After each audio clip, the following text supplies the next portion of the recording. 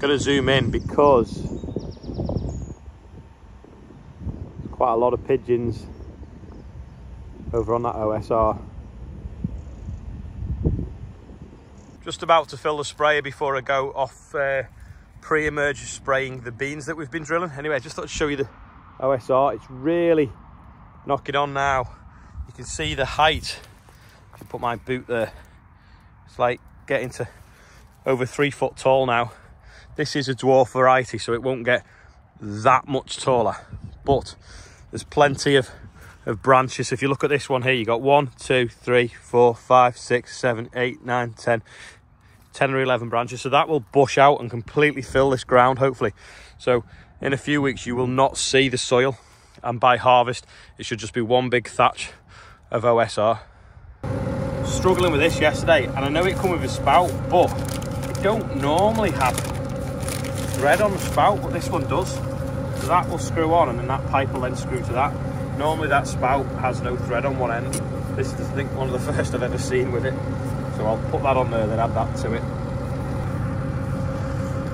There we go. Better. Hopefully I'll be able to clip it on now. Just washing out now. There's a pair just running in front of us.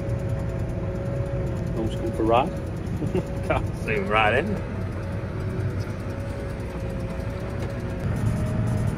Just out now, spraying the pre-emergent spray on the beans. You can really see the spray pattern in the forwards and facing nozzles so that we get no shadowing.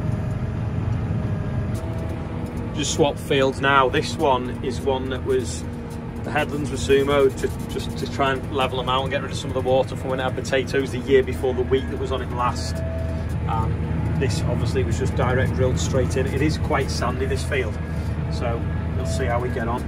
But it'd be interesting to see the difference between the middle of the field and the headlands on the yield mapping of the combine because this is just stitched straight in, whereas the headlands have obviously, like I say, been worked. Does anyone know what that means? Because every so often it comes up with a little exclamation mark and starts bleeping. And then when you go diagnostics, it, oh, it's actually telling me something now.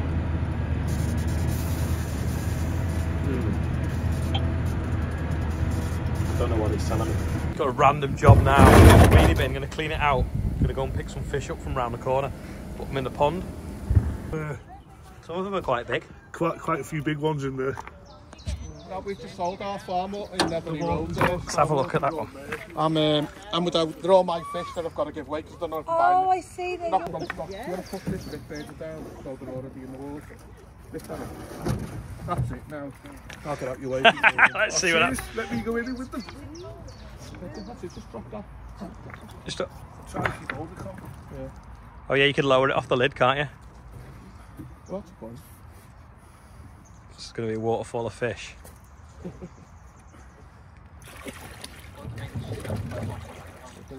well, there they are. That's probably the last time I'll ever see them. They'll be over there now. That's the idea. Look, if you Oh, there you go. That's one come out there. Idiot, like there. Yeah, yeah. Yeah. Yeah, look, just, just. Yeah, you can see them. So if you get some pond sticks and put them in this area, they'll come and feed. Yeah. Do you want to hold one? Tip it gently. Put your Go on. up then, Roy. Go on, try and catch one. See if you're as fast as a cat. They're slippery. Don't, don't, don't touch them. Don't grab them too hard. Go on, go. We're grabbing them. Go on, try and grab one. No, You know just hold gonna- it in your hands. Don't grab it. You might in, uh, damage the scales. Like, cup it like a bowl. I don't want to grab it. I'm not grabbing it. Oh, right. Well, just t- tip them out then, gently then. I won't Push it. That's it. Push it. That's it. Slowly.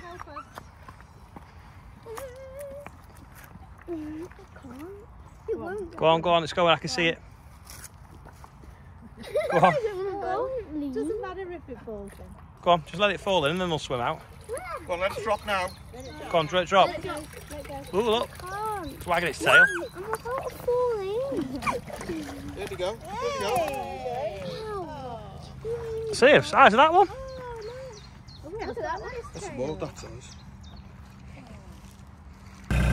Mr. Burrows. Better than a gator. It is, isn't it? Yeah. Is it quiet, do you think? Yeah. Same engine, I think, was I assume, but it's got much quicker pickup. I drove a petrol one the other week and it was so noisy. It sounded like a crosser. Not not one of these, or a, I think it was a Honda one. You know you want one instead of a rogator. Right, the girl's going to do the birthday bumper, so off you go. Um, Lindsay O'Bun. O'Donovan. Donovan. Sam Anderson He's nine. is nine. Carey Carey. Carey is four. There we go. So happy birthday. birthday. Happy birthday. Yeah, and anyone else whose birthday is today, look at that now. 30,826 for the air ambulance, amazing. So Jamie and Fambo are on the way to Hannah Jackson's to pick up a new dog, so they've just called in on the way. Just in time to see the new fish go in the pond and have a play in the Corvus. Quick rinse out now, and I am back onto liquid fert, so I've not done it for a while. I did want to spray the booms with oil, but I don't want to get too late tonight, so I'm just going to do one field, and um, I'll spray them all with oil tomorrow. Um, hopefully, hopefully it'll be all right. Plus, N17 isn't that corrosive compared to the N30 that we normally put on later on in the season. So I'm just going to fill up now, get out with that, turn into a cracking day. Apparently, though, it feels like it's been wet. We've been really lucky because lots of people have had about two inches of rain in the last 24 hours, 30, 48 hours. You know, we've not. So, giving it good now till Wednesday because we're going to get on with some more spraying. Hopefully, we'll get some more drilling done tomorrow.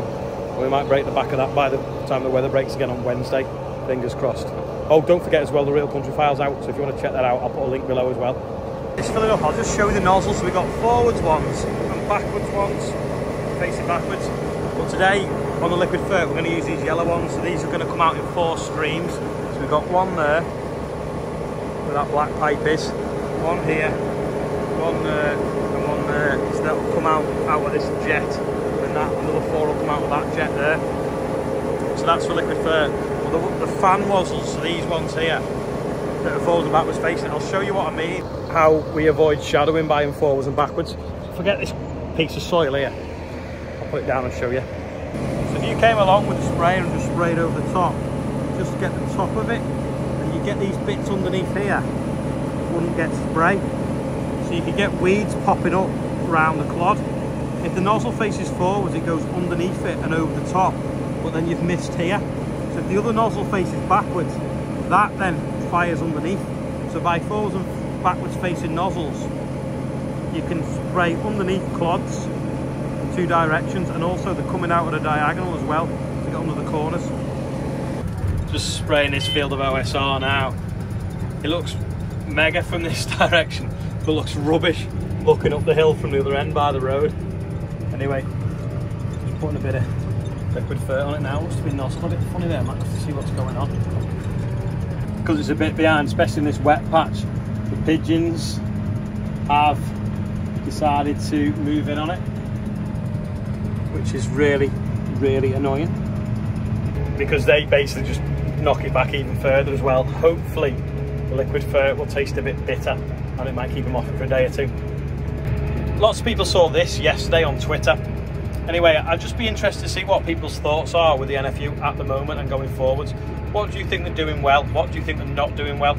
Let me know in the comments.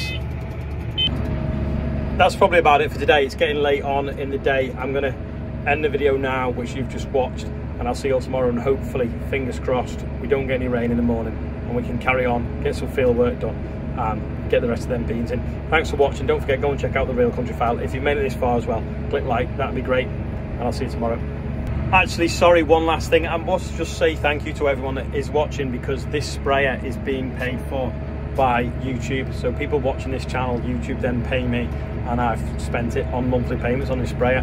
Having such a big tank means that I can do this field on a Sunday afternoon in one tank full without going backwards and forwards down the road. So just this one field, I would have saved around half an hour on, which is amazing because that's enough time to edit a video and upload it or actually eat me tea with Charlotte. So thank you so much for everyone that's watching and supporting the channel.